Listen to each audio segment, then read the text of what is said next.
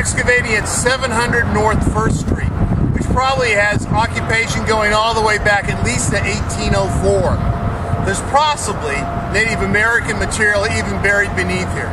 We won't probably know for at least one or two more Saturdays. We've right now just stripped off the sod, and in that process, we've come up with some artifactual material. Everything we found so far relates to the 20th century, or sometimes even the 21st century.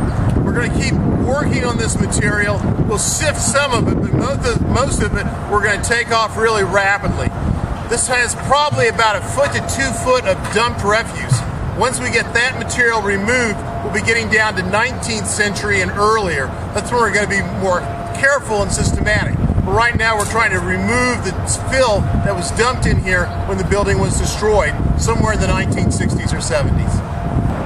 I'm Professor Michael Fuller from St. Louis Community College. The 30th of April, year 2011. The Archaeological Field School Methods class is doing a dig here in downtown St. Louis, at Laclede's Landing.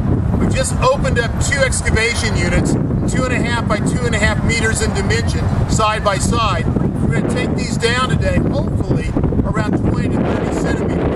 There's that much dumped fill here in this lot that we need to remove rapidly to begin to reach the level of 19th century occupation and maybe even Native American materials.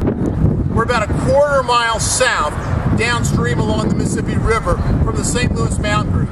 And one of our research objectives in this excavation is to see if we can pick up any evidence for that Native American community that must have been here somewhere between 500 to 1,000 years ago.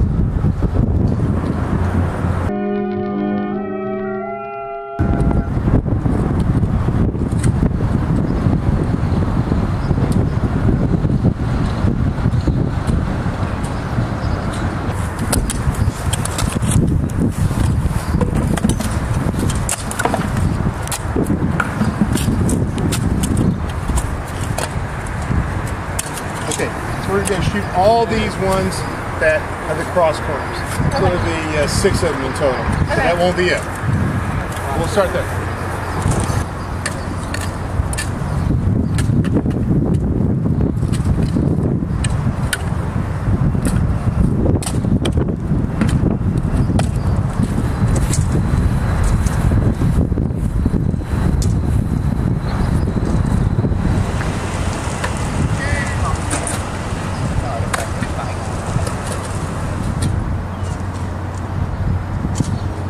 So I'm doing the elevations for the start of today's excavation.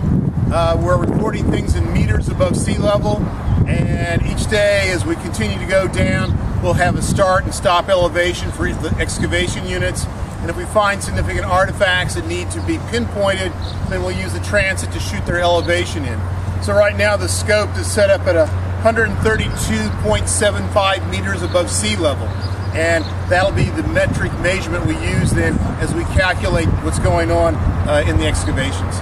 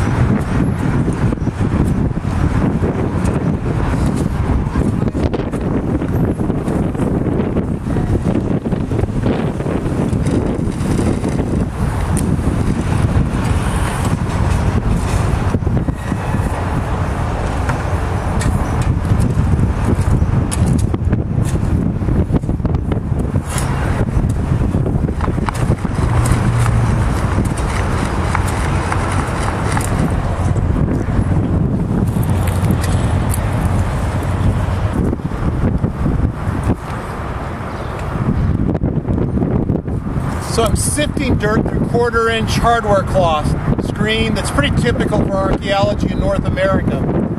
Um, largely what we're coming up with is lots of rock, lots of uh, coal clinkers left over from fuel, lots of eroded and broken pieces of brick, all but very typical of the 20th century debris dumped into an old uh, building that's been uh, demolished.